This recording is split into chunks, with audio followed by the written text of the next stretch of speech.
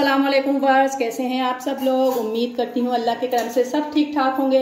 आज जो रेसिपी आपके साथ शेयर कर वो है झटपट बन जाने वाले कच्चे कीमे के कबाब। और बहुत ही जल्दी ये बन जाते हैं तो जिस, इसके लिए हमें जो जो चीज़ों की ज़रूरत है, वो देख लेते हैं। यहाँ हमने बीफ का कीमा लिया है, ये आधा किलो बीफ का कीमा है। और उसके साथ हमने यह तीन मीडियम साइज़ की प्याज थी, जिन्हें मैंने चॉपर में मोटा मोटा चॉप करके और इसमें से पानी निकाल लिया है। ज़ीरे की ज़रूरत है, साबुत, सूखा धनिया है, कुटी हुई मिर्चें, बेसन, अंडा और यहाँ हरी मिर्चें मैंने तीन अदद ली हैं और ये भी हरी मिर्चें हैं जो लाल हो जाती हैं, उनमें से मैंने बीज रिमूव कर दिए हैं। अदरक है थोड़ी सी और लहसुन। इसको मैं चॉपर में चॉप करूँगी। लेमन है तो देखते रहें, पूरी रेसिपी देखिएगा। बेसन को मैंने भून कर लिया है। इसे मैं चॉपर में सारी चीज़ों को डाल के चॉपर में चॉप कर लूँ, फिर मैं आपको बाकी रेसिपी बताती हूँ। मसाला देखें, हमने चॉप कर लिया और ऐसा मोटा मोटा हमें चाहिए। अब हमने कीमे के अंदर हमने मसाले डालने कीमा इस तरीके से बारीक होना चाहिए। इस तरीके से। जितना बारीक कीमा होगा, इतना ही अच्छे हमारे कबाब बनेंगे। और बहुत ही झटपट बन जाते हैं ये कबाब। सिर्फ़ 10 मिनट में ये तैयार होते हैं। बिस्मिल्लाहिर्रहमानिर्रहीम। सारा मसाला हम डाल देंगे, चौप डालेंगे ताकि जब ये हम कबाब बनाएँ तो बहुत ही अच्छा टेस्ट आता है। ये सारी प्याज भी डाल देंगे। बिस्मिल्लाहिर्रहमानिर्रहीम। प्याज मैंने पानी, प्याज का मैंने पानी तमाम निकाल दिया था निचोड़ के और इसे भी मैंने मोटा मोटा ही रखा हुआ है। इसी तरीके से हमने रखना है। कुटी हुई मिर्चें हमने डालनी है वन टीस्पून। वन टीस्पून कुटा हुआ सफ़ेद ज़ीरा। टू टेबलस्पून हमने कुटा हुआ धनिया लिया है। बिस्मिल्लाहिर्रहमानिर्रहीम, ये हमने बेसन लेना है थ्री टेबलस्पून भरकर। ये बाइंडिंग का काम करेगा। लेमन जूस डालना है हमने।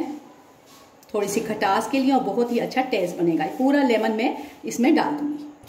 ये देखें, पूरा लेमन मैंने इसमें निचोड़ दिया है। लेमन से बहुत ही टेस्ट अच्छा बनेगा। हरा धनिया डालेंगे इसके अंदर। और इसको अच्छी तरीके से हम हाथों से मिक्स करेंगे। बर्तन छोटा था तो मैंने खुले बर्तन में डाल दिया। अब इसमें हमने कुछ मसाले डालने हैं, जिसमें हाफ़ टी स्पून हम हल्दी डालेंगे। और ये मैं वन टीस्पून के करीब नमक डाल रही हूँ। नमक आप अपने टेस्ट के मुताबिक कम ज़्यादा कर सकते हैं। अब एक और चीज़ इसमें डलेगी बाइंडिंग के लिए। अंडा है, अंडे को पहले एक अलग बर्तन में निकाल के फिर फेंट के हम डालते हैं ताकि हमारी सारी चीज़ें ख़राब ना हो, बाल दफ़ा अंडा ख़राब निकलता है। बिस्मिल्लाह रहमान रहीम अब इन सब चीज़ों को हम अच्छी तरीके से मिक्स करेंगे। अच्छी तरीके से हाथों से हमने मिक्स करना है। अभी और मैं इसमें चीज़ें डालूँगी, आप लोग वीडियो इसकी किए बगैर पूरी वीडियो देखा करें। स्टेप बाय स्टेप मैं हर चीज़ आप लोगों को बताऊँगी। ताकि इस तरीके से करने से क्या होता है कि ये जो मसाला होगा, वो तमाम का तमाम कीमे में अच्छी तरीके से मिक्स हो जाएगा। और खुले बर्तन में मैंने इसीलिए लिया है कि आप लोग भी इसी तरीके से खुले बर्तन में इस तरीके से मसलेंगे तो ये मसाला सारा अच्छी तरीके से जज्ब होगा। वन टेबलस्पून मेरे पास घी है। आप लोग घी या बटर का इस्तेमाल कर सकते हैं, मैं इसमें घी डालूँगी। और बहुत अच्छी तरीके से मिक्स करके हम इसे एक साइड पे रखेंगे। तकरीबन एक घंटे के लिए हम रख देंगे फ्रिज में इसे और फिर उसके बाद कबाब बनाएँगे। अगर आप लोग चाहते हैं कि जल्दी कबाब उसी टाइम हम बनाएँ तो इसमें एक चीज़ और डलती है, सोडा, मीठा सोडा। अगर आप लोग डालना चाहें तो डालें, मैं नहीं डालती, मैं इसी तरीके से बनाती हूँ। और बहुत ही मज़े के बनेंगे। और ये देखें, इसमें प्याज, लहसुन, अदरक, चौप हमने करके डाला है तो इसका टेस्ट बहुत ही अच्छा आता है। अच्छी तरीके से हमने कीमे को मसाले से मिक्स कर लिया है। अब हम इसको एक बॉल में निकाल लेते हैं उसी बॉल में जिसमें हमने कीमा रखा था।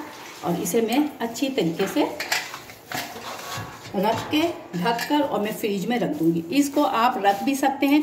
जब भी आपके घर मेहमान आए, तब भी आप बना सकते हैं। अब मैं इसे रखूँगी तकरीबन एक घंटे के लिए, फिर मैं इसके कबाब बनाऊँगी।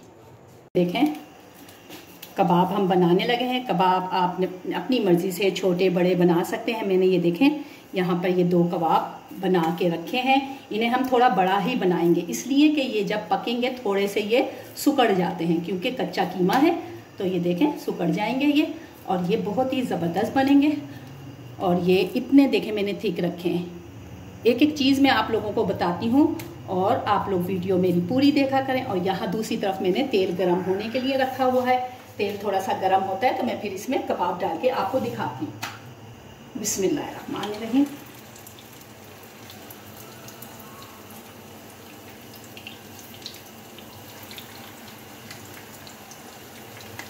इस तरीके से हमने कबाबों को तलना है।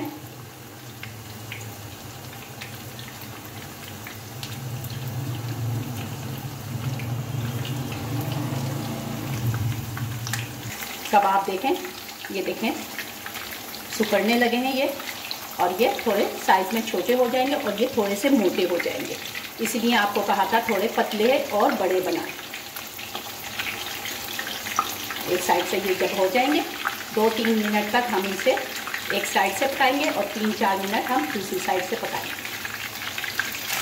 बहुत ज़्यादा हाई आँच पे हमने नहीं पकाना इसमें मीडियम टू लो आँच होएगी ताकि कीमा हमारा अच्छी तरीके से पक जाए, क्योंकि कच्चा कीमा है ये देखें अब देखें इसकी शक्ल और ये देखें कि ये कितने छोटे हो गए हैं।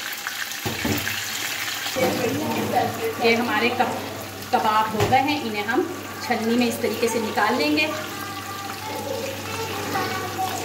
फ्राई हो गए और दूसरी तरफ़ हमारे कबाब फ्राई हो गए। माशाल्लाह अल्हम्दुलिल्लाह हमारे कच्चे कीमे के कबाब बनकर तैयार हैं। बहुत ही ज़बरदस्त रेसिपी बनकर तैयार हुई है। और ये सिर्फ़ 10 मिनट में ये कबाब बनकर तैयार हो जाते हैं और मैं आप लोगों को एक कबाब दिखाती हूँ कि ये अंदर से देखें कितना जूसी है और कितना ज़बरदस्त ये कबाब बनकर तैयार हुआ है। मैंने इसे ग्रीन चटनी के साथ सर्व किया है। आप लोग इसे केचप के साथ या जो भी आपको डिप अच्छा लगता हो, आप उसके साथ सर्व करें।